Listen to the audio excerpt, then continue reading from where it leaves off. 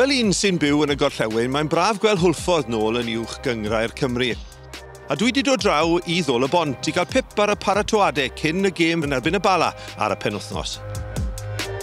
Nine points out of nine has been a solid start to the season.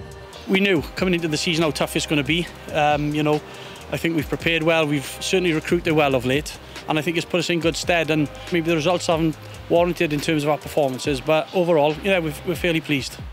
And you must take a lot of pride in the way the young players have come on at the beginning of this season.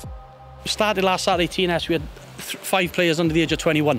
You know, not many teams in our league will brag that and obviously to play a team of such a stature of TNS and to take them right to the end I think it's full credit and the players are learning we're developing we're getting stronger as a group I keep saying it every week you know and I, I think we're, we're reaching that stage now that that way becoming fearless Haverfordwest have got a very good track record of bringing young players through. What's the secret? Down in Haverfordwest, no one's really getting noticed because of how far we live away from the, say, the bigger clubs. And there's a lot of talent down in this area, but no one, it always goes unnoticed. So it's nice to be a part of the talent. Corey Shepherd, Cameron Keach, you've both moved to Haverfordwest from Cambrian and Clydach during the summer. Corey, how are you settling in?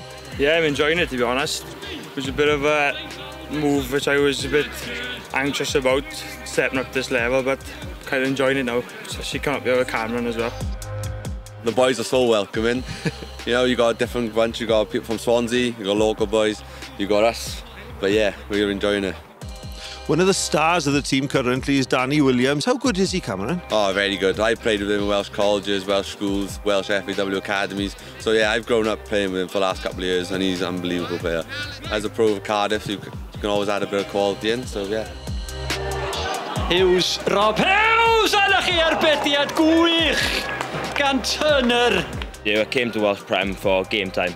You know, playing senior football is a great experience for me. I'm only 18, so I've still got you know plenty of time to learn and improve. Leeds, known, you see them in the Prem at the moment now, brilliant side, passing football, movement, and the Bielsa, they've been brilliant.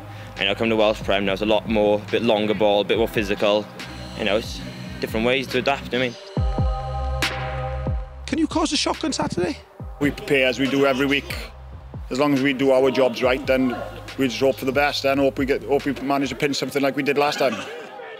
I felt we thoroughly deserved it. You know, we took, took our chances. We had quite a few chances. We shared possession up there, and you know, I came away with there not surprised in terms of how the game went, but you know, again, we prepared really well for it, like we'll do for this Saturday, and hopefully we can come out on top again.